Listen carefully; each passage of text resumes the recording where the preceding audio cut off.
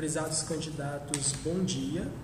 É, realizaremos a seguir o sorteio eletrônico relativo ao edital 64 de 2019, curso de pós-graduação Lato Senso em práticas, práticas Pedagógicas para Professores.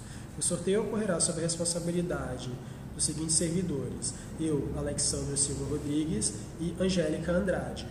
O sorteio eletrônico ele visa classificar todos os candidatos com inscrições homologadas para compor a lista da qual serão convocados os estudantes para a realização da, da, da análise da documentação. Cada candidato recebeu um número para participação no sorteio e que foi divulgado no endereço eletrônico do IFES. O sorteio ele está iniciando conforme previsto em edital, na data do dia 4 de 9 de 2019, no Salão de Reuniões do CEFOL.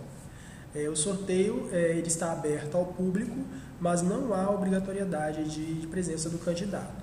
É, nesse momento, iniciaremos o sorteio de todos os candidatos com inscrições homologadas, utilizando o número de sorteio que foi divulgado e em seguida será apresentada a semente, para que seja utilizado em futuras conferências. É, nesse vídeo daremos início então ao sorteio é, referente ao polo de Santa Teresa. Vamos à realização do sorteio. É, código de sorteio do código de vaga 071. 133 inscritos para 6 vagas. Aqui temos a lista gerada com os seis primeiros colocados, na sequência a lista de suplência.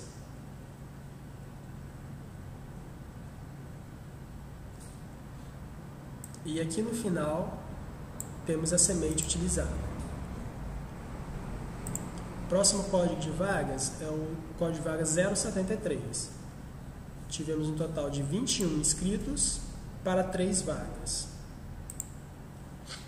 Aqui geramos a lista com os três primeiros colocados e na sequência aqui a lista de espera. E no final a semente utilizada. Algumas observações. O, candidato deverá encaminhar os documentos necessários para a matrícula no e-mail pspratped.ifes.edu.br no período previsto no anexo 1 do cronograma.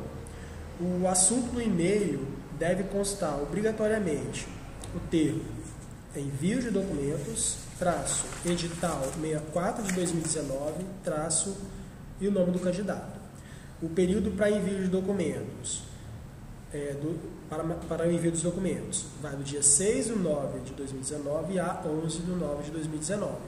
Obrigatoriamente, os candidatos que ficaram classificados dentro do número de vagas devem encaminhar os documentos nesse período. Agora, às 11h27, damos por encerrado o sorteio neste vídeo.